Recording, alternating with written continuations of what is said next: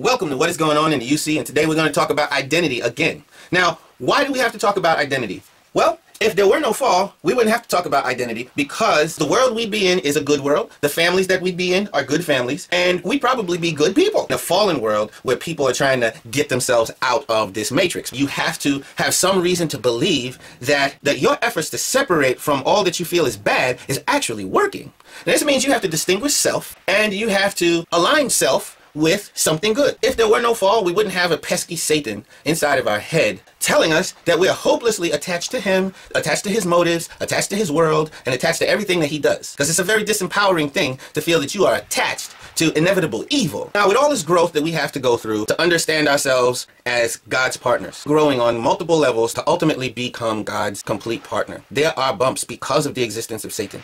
If there was no Satan, we would just listen to our conscience, and our conscience would guide us through the aforementioned three stages and guide us safely to the greatest moment of filial piety when we receive the blessing from our parents and God. But the problem is that our conscience is under assault because of the fallen world. And that is why this whole issue of identity is not happening in a seamless way. Our consciences are buried in the doubt because of the garbage coming out of Satan's mouth all the time. It is as if our conscience, which is like a radio station somewhere within our spirit, broadcasting its prescriptions, cannot be heard. Now, why can't the conscience be heard? Because Satan casts a certain kind of doubt on the voice of the conscience. Now, if you've ever driven by a power station while you were listening to the radio, the electromagnetic interference coming from the power station sometimes disrupts the radio signal and you cannot hear it. And Satan has the same kind of effect on your ability to hear your conscience. And brothers and sisters, this is where identity becomes very, very important. If your conscience was making a serious suggestion for you to do something that would be good, how are you going to do that good thing if, for all intents and purposes, you cannot hear the voice of that conscience? Or how are you going to do that good thing if three or four other voices in your mind are discrediting that voice of conscience?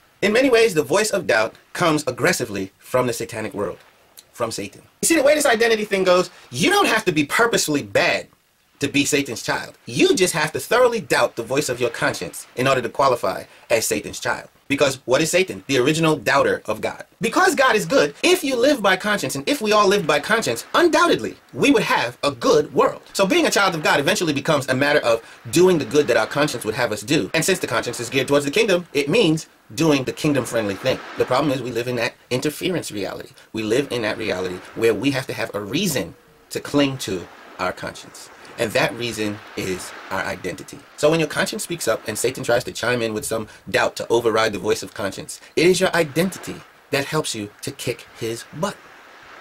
Many times Satan says, who are you to think that this good act that you want to perform is going to matter? That goodness is going to be increased because of it. How dare you? Who are you to think that? Maybe Satan will say that to you. Maybe Satan will say, you're just doing that good act to look good. You're actually very selfish. You're just like me. You hear these things and then sometimes you wind up not performing the act because you think, oh, actually, it's a satanic thing I was about to do. The very conscientious thing that you were about to do, you start thinking it was a satanic idea. or the very conscientious thing that you were about to do, you start to think is going to be impotent. Or sometimes Satan says, you know, if you perform that act, it's going to hurt you. If you give money, you're going to have less money. If you give money to that old woman on the corner, you're not going to have any money. And in that case, that very conscientious thing that you were about to do, you just don't even do it. It'd be cool to be able to say to that voice, I'm God's child. So I'm giving this to my father. Let my father do with it what he wants. If he wants to bring an increase to what I'm doing, so be it. But I'm, I know I love him, so I'm giving it to my father. That's the power of identity. Or you could say, I'm not doing this to look good. I already have everything because I'm God's child. Why the heck would I need to do this to look good? Get out of here, Satan. And then you could proceed to do that conscientious thing. Or you could say, you know what? God has done so much for me in the past. Why not give this money to that old lady? Even if I were to go hungry, there's so many sunny days in the glory of God that I've spent. I'm not going to miss it because of one day of hunger. And proceed to do that conscientious thing. So you see why identity matters? If there were no Satan, then we could just grow naturally. But because of Satan, we have to know our position in the cosmos. We have to know that we are connected to God and we have to see ourselves as a part of the God continuum. So when Trotchville said that we identify with a group the group that we identify with is God. And it's nice when we meet our true brothers and sisters every once in a while, because when we get together, oh my God. So brothers and sisters, please don't forget, if you're a member of a blessed family, you literally come from the body of true mother and the seed of true father. Literally. And God honors that. So don't fear. Believe in yourself and believe in the voice of your conscience. If you like this, like, share, subscribe. Talk to you later.